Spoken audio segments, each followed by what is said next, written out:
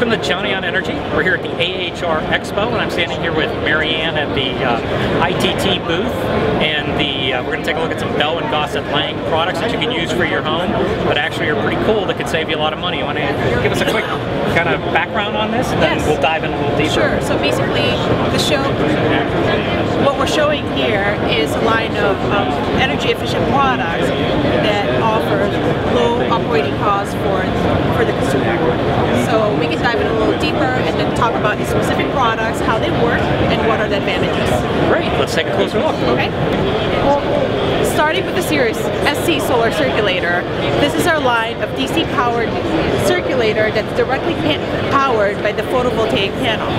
So basically what we're showing here is a pump that's connected directly to, to the panel, basically eliminating the need for um, electronic connections. And what's that specifically used for, like at a home? Th- This is actually specifically used for um, um, heating your your water. So if you have a tank, it can be used as a supplement to, to heat up the water that's being stored in this tank. So basically, you're, you would have a, a thermal collector that's where the tubes are connected to that heats up the water, that essentially heats up the water that's stored in this tank. Okay, so this works in conjunction with like a solar thermal system.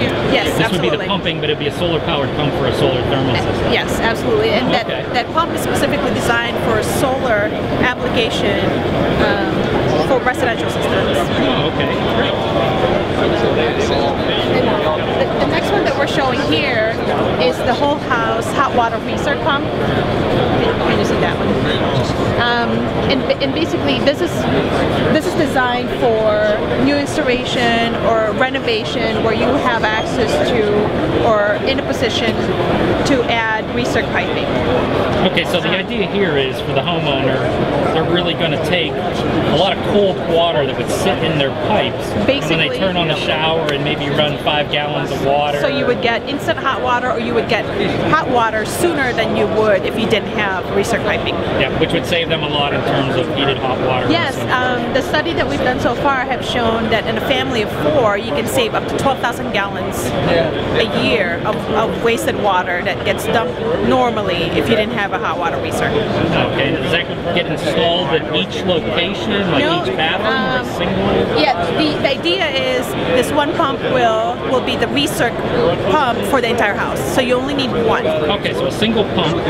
And is there any additional plumbing that goes with that? Well, you would you would need a recirc piping um, so that you would have a true recirc line going back to the water heater.